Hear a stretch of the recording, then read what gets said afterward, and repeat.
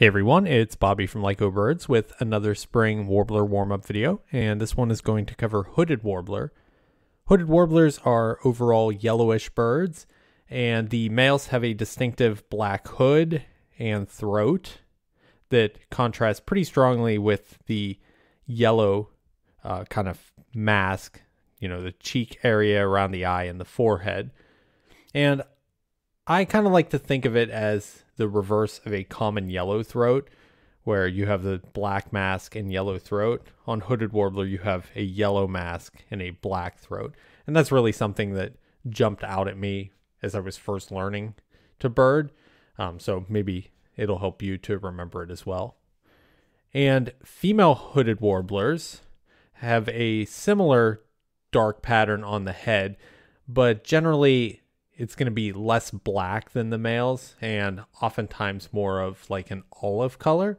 So just kind of a weaker version of that strong black hood that the males show. And they typically don't have any black in the throat. So you can see kind of this uh, fainter hood. This one has quite a bit of black actually for the females. Um, and this one as well. You can see kind of that outline of the hood no black in the throat. And then um, this is about as drab as they can get. And you see pretty much the whole head is just this olive color. But you do kind of have the contrast here where the face is a little bit brighter. And birds like this are more likely in the fall.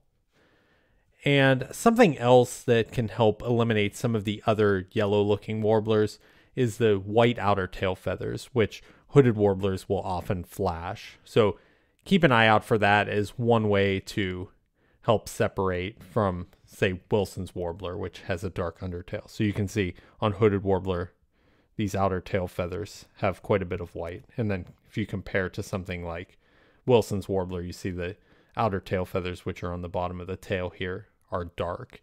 And Wilson's warblers don't tend to flash their tails as much.